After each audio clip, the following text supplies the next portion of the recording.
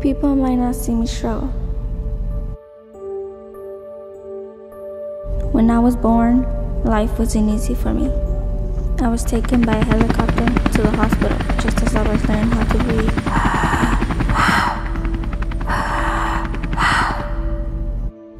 My mind was like a blind dream that was never gonna see the light. I felt there was no end in sight.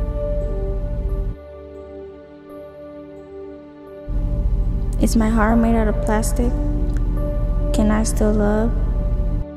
Can I withstand the pain and have peace like a dove?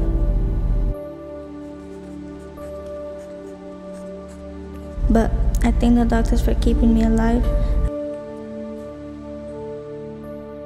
I thank my mom for never leaving my side.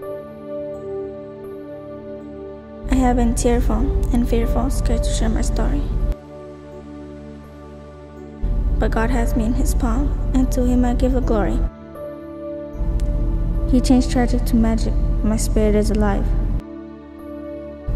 I struggled every day just to stay alive.